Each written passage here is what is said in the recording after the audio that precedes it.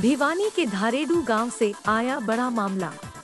परिजनों ने लगाए आरोप, बेटे को बीड़ी लेने के बहाने घर से बुलाकर जान ले ली और शव को जलाने का किया प्रयास। एक दिन बाद रोडवेज़ से हैवी ड्राइवर की ट्रेनिंग शुरू करने वाला था सोनू। भाई, मेरा नाम ईश्वर है। धारेडू निवासी हूँ और जिसकी, जिसका मर्डर हुआ है, वो मेरा भतीजा लगा था, रविंद्र नाम था उसका। रात को लगभग साढ़े ग्यारह के बाद और बारह से पहले, उसको एक हरीश नाम का लड़का आया और कहने लगा कि आजा सोनू, बीड़ी ले आवांगे। उसने मना किया कि, ना यार, मैं कौन जानता। फिर उसने कहा, चल यार आ जाओ हाँ जाना। वो उसने ले गया, उसका सागी भाई धर्मेंद्र, बीच में ही बोल रहा है कि, जाओगे रोड पर? फिर कोई बात को नहीं, चला गया वो। वो पूरी रात आया ही नहीं।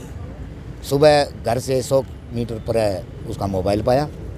सुबह लगभग साढ़े छः पौने सात बजे। और लगभग हज़ार मीटर पर है उसकी चद्दर मिली जो पानी से भीगी हुई थी बारिश से। और पंद्रह सौ मीटर आगे उसकी चप्पल मिली और लगभग डेढ़ किलोमीटर आगे उसकी डेड बॉडी मिली जड़ी हुई। है तो कैसे मतलब किस चीज़ पे चलाया गया था? तो किस किस पे शक है? शक सीधी बात है जो लेके गया है वो बताए कि मैं क्यों ले गया था।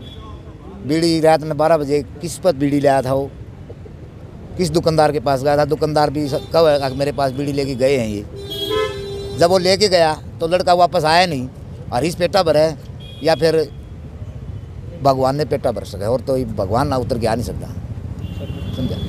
तो कितनी उम्र थी? लगभग इक्कीस बाईस साल की उम्र थी। क्या काम करते थे? वो प्लस टू पास करके ना आज से उसकी ट्रेनिंग होनी थी हैवी लाइसेंस की रोडवेज़ की। आज इस दुनिया में नहीं रही।